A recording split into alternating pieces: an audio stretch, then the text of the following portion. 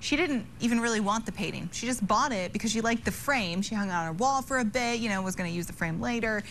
Then she posted it in a Facebook group, and comments led her to a curator who identified it as an authentic N.C. Wyeth painting valued at around $250,000. It'll go up for auction in a couple weeks. It's a nice painting. I wouldn't pay 250 for it. Would I pay four? Maybe. The frame's not even that nice. Look at that. I don't, I don't have too much to input here. I'm not a big art guy, so. Okay. Well, good thing you're good at the weather.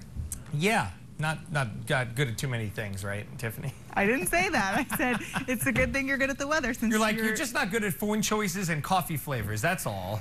you do have some horrible choices when it comes to coffee flavors. Yeah. Uh, no.